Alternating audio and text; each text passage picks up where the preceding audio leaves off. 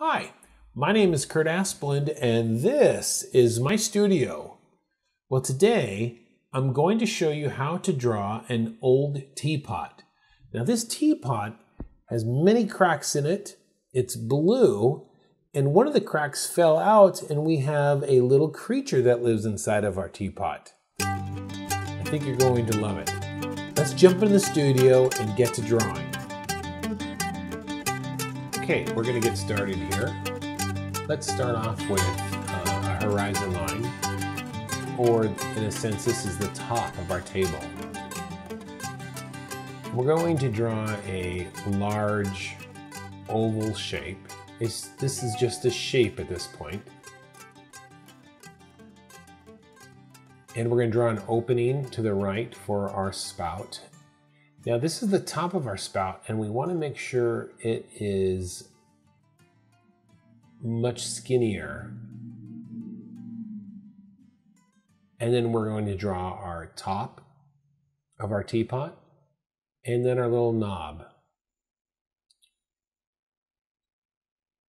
And let's go ahead and grab um, our handle here. It's like it's like a C, like a letter C.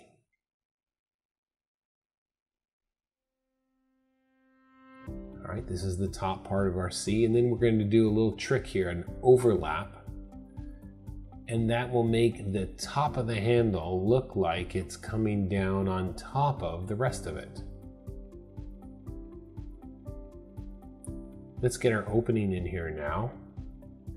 And I'm going to create some contrast by creating a jagged edge on one side and then the smooth side next to it. Whoa!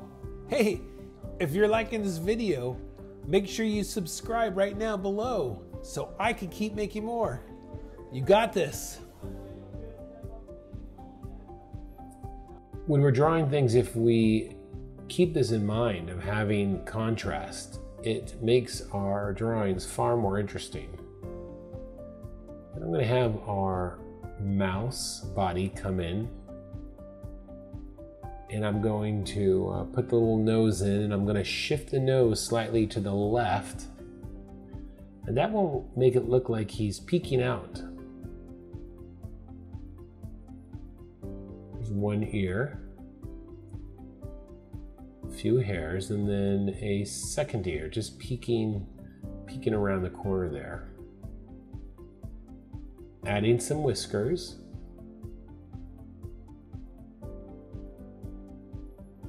Just darkening a few lines here.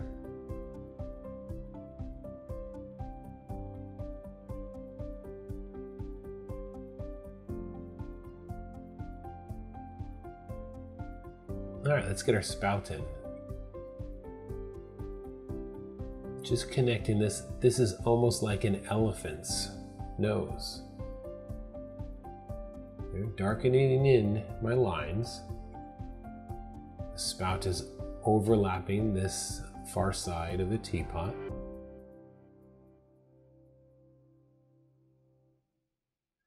So if, if you've gotten this far, you've actually pretty much solved this. Uh, all I'm doing now is just darkening in the lines and I'm going to add decoration. Let's add a couple extra little details like the thickness of the teapot.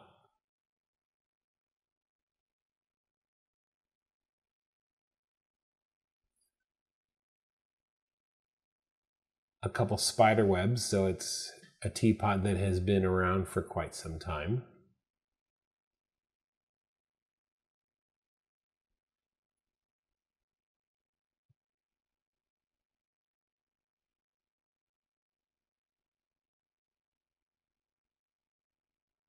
Couple cracks, some surface lines.